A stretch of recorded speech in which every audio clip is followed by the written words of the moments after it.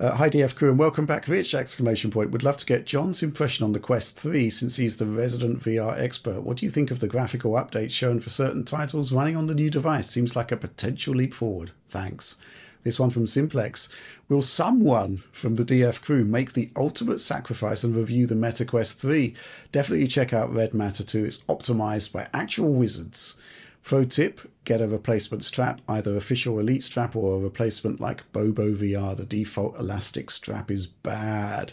Uh, so, John, uh, I'm not sure we got any plans to do a, a spe- specific review of the MetaQuest 3 stuff. However, you have now experienced both the Quest 2 and the Quest 3, and uh, I'd love to get your, yeah. your, your thoughts on both of them. At some point, I kind of want to do like a VR headset showdown and just talk about these because, you know, it's hard to showcase VR in a video. So if you just talk about them all, but I'll talk about what I've experienced so far. So I have a Quest 2 and I have borrowed a Quest 3 temporarily and I've played with them both. And my thoughts are that the the Quest 3 makes some nice improvements.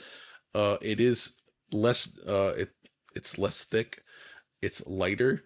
Uh, they use pancake lenses on there, so it actually the optics are slightly improved. I wouldn't say it made as big of a difference as I expected, but it's still it's it's definitely better.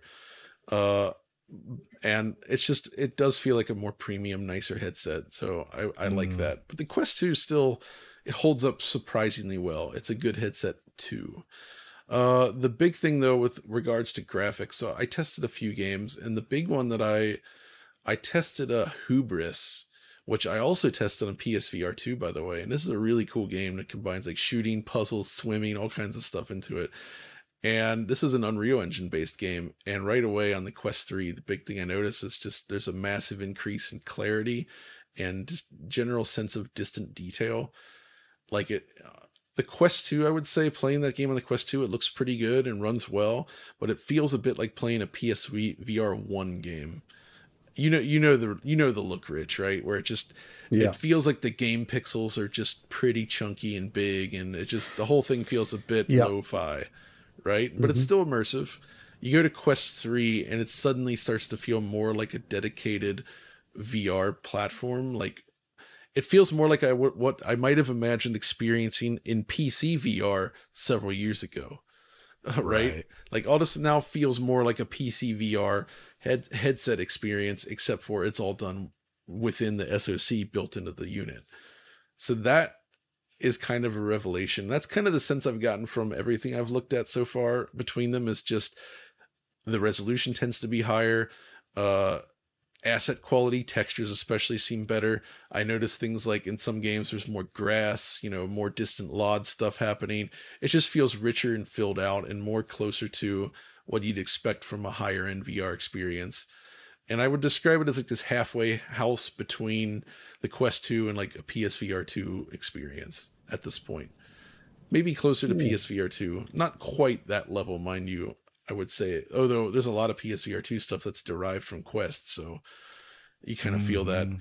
Uh, we're not at the point though where we're seeing like Half Life Alyx level fidelity on one of these portable headsets. I suspect that's still not really feasible. I, I mean, I actually don't yeah. know how far they could push the Quest 3 hardware, but that's that seems like a gigantic ask. It won't happen, obviously, but I I don't know about that. Uh, I will say though, both of them are really interesting when used with virtual desktop for your PC. Uh, I actually tried this down in my living room right next to my router. So my PC's wired. I stood next to the router and I could connect to the PC via virtual desktop and use both headsets on the PC wirelessly which is a revelation, I must say, being able to use these things. Suddenly, have, you know, I'm down in the living room. There's no wires connected. You can spin all over and playing like Half Life Alyx that way feels freaking great. Mm-hmm.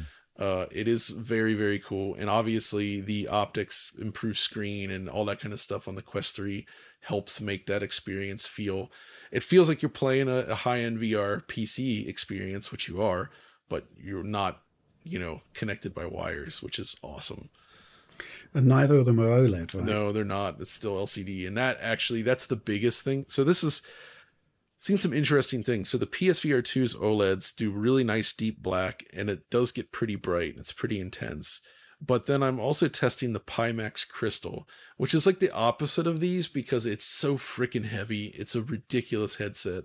Uh, I don't even I don't find it very comfortable, but holy heck, like the I I mentioned this last week I think, but just the clarity of the screen that uses LCD, but it uses really good quality local dimming, and it's super bright, super intense, and it goes up to 120 hertz. Uh, and just like the clarity of that is unreal and the FOV is unreal. It's it's it's like a preview of like where I would like VR to keep moving to. Like obviously you still need like to be connected to a PC to make this work uh at that fidelity I would say but man it's it's very promising and yeah the quest 2 experience quest 3 experience it's not there yet I would say but uh I li- I like the quest I I do like the quest a lot I actually another okay. game I played this week was the Seventh Guest. It got a VR oh, wow. release, and it's a it's a new game that's been rebuilt to sort of retell the story of the Seventh Guest. And I got a bit emotional when you first walk into that mansion, that that initial hallway with the staircase, and it's like you're there, being able to look and walk around in 3D. Uh, I it would have been like a dream. I could never even have imagined back in like the early 90s when I first played that on my PC. So, uh, and they actually integrate FMV into the 3D models as well. Kind of. It looks like I need to better experiment, but the characters look like filmed actors, which they are, but when you when you move around, it's like a 3D object. So I think they've like somehow mapped FMV stuff onto these models in a weird way to make it look like you're watching video uh, which Crazy. is really compelling and cool. And it works in the okay. Quest 2, even. It looks awesome. So, well, this is my final question for you, John, because prior to this hands on and actually spending time with it, you weren't actually besotted with the concept of the quest. No, I wasn't. And part of it was just it just seemed underpowered. The first demo I saw wasn't great, and then I only had used a quest, a friend's quest with the uh, included head strap, which I freaking hated. It's very uncomfortable.